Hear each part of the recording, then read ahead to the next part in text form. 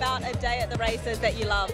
Oh, it's just a good time with good friends. You know, the sun's out, rain's gone away. It's good fun betting on the horses, even though we don't know what we're betting on. But no, it's good fun. Oh, it's like getting dressed up, chatting with friends, seeing people you haven't seen all year.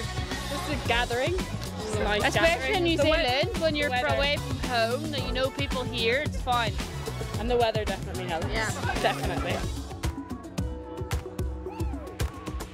What's the occasion today? Um, we're just here as a family, big group of us, watching the races, day after Christmas, just having fun. What do we love about a day at the races?